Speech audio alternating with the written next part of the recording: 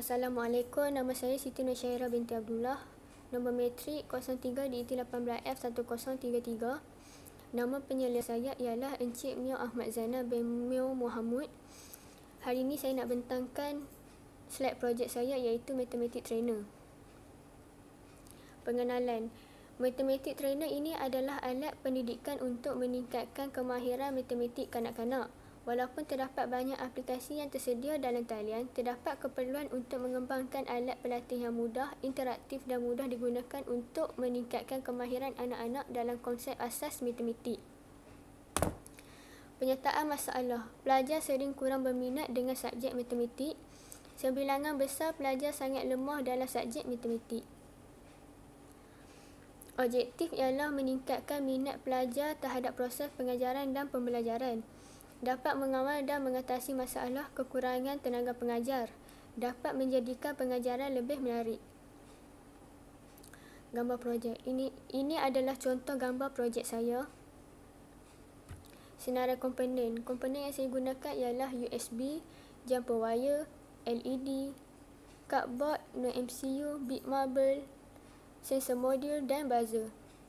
Skop kajian ialah digunakan di sekolah iaitu di dalam bilik darjah perlu digunakan di ruangan dalam iaitu indoor, perlu mempunyai aplikasi Blink untuk alat berfungsi. Ciri-ciri utama khas produk ialah saiz produk ini adalah sederhana, menggunakan no MCU dan aplikasi Blink untuk memaparkan soalan dan jawapan, mempunyai infrared sensor untuk mengesan guli sebagai soalan untuk dipaparkan di aplikasi Blink. Produk ini selamat untuk digunakan. Gambar rajah blok sensor SA underscore 1, sensor pula underscore 1, SA ada sensor SA underscore 2, sensor pula underscore 2, button sama dengan dan button reset adalah input. Proses saya gunakan no MCU. Output adalah buzzer, LED tambah, LED tolak dan LCD display di X blink.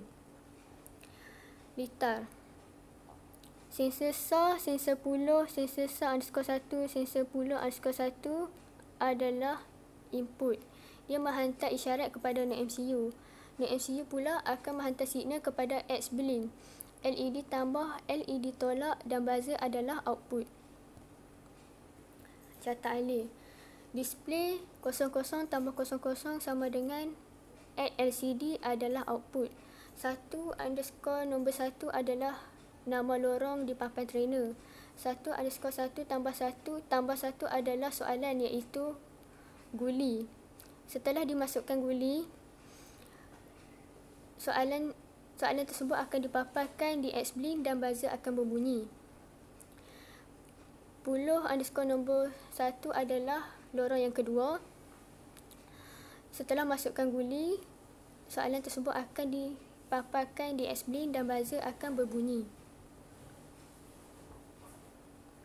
Reset answer adalah reset jawapan. Sekiranya salah masukkan jawapan, tekan button ni dan masukkan jawapan yang baru.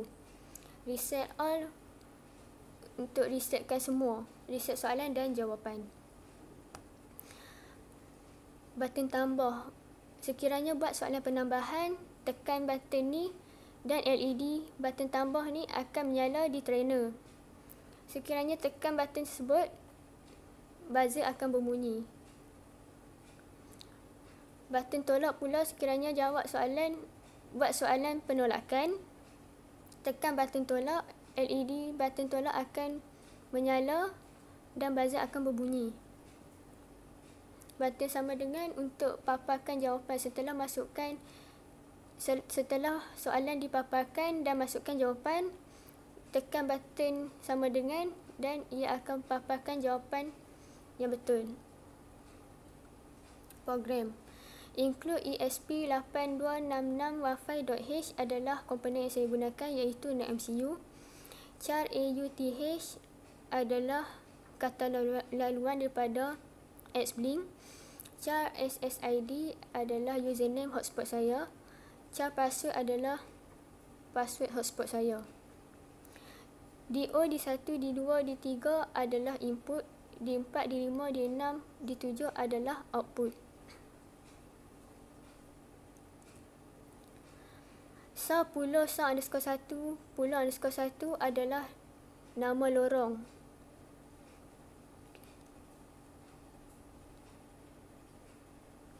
Hasil dan pembincangan, pilih sama ada mahukan soalan penambahan atau penolakan. Sekiranya pilih soalan penambahan, maka LED untuk tambah akan menyala.